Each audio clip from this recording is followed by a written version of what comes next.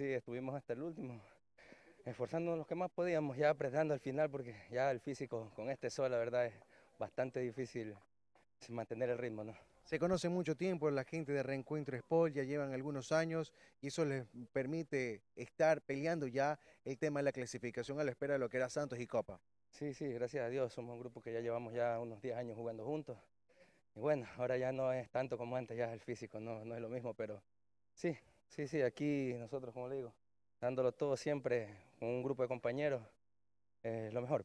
Elegido el jugador del partido, en varias ocasiones tuviste la oportunidad de salvar a tu equipo tienes toda la responsabilidad que se comentó en el tiempo que, hablaban con el director técnico.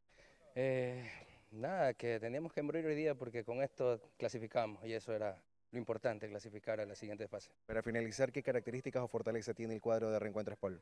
Eh, bueno, la fortaleza es que somos un grupo unido.